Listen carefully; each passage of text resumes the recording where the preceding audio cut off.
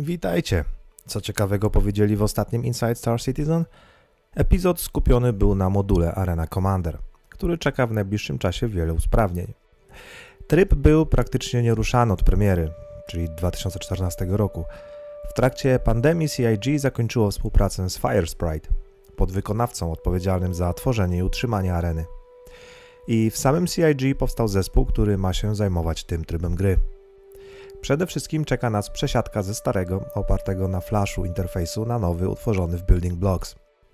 I oba tryby, Star Marine i Arena Commander, zostaną połączone i będziemy mieć jedno menu, z którego będziemy wybierać interesujące nas mecze. Mają w tym roku wrócić też mecze prywatne. Zostanie przebudowany system wybierania statków i uzbrojenia.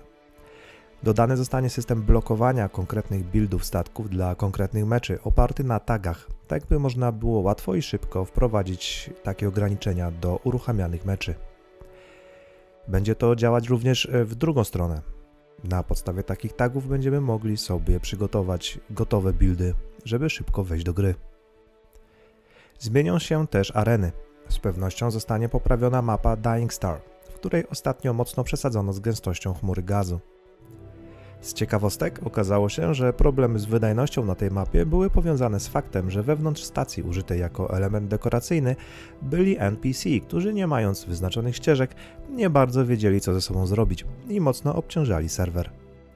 Poprawione zostaną tory istniejące już w arenie. Na przykład dodana zostanie atmosfera do map, które graficznie wyglądają jakby znajdowały się nad powierzchnią planety, ale tak naprawdę wokół nie było ani grawitacji, ani atmosfery, która wpływałaby na manewrowość statków. Do areny trafią też tory wprowadzone do Persistent Universe w 3.18. W sumie będzie 12 map dla wyścigów oraz dodatkowa mapa do walki oparta na stacji Jericho.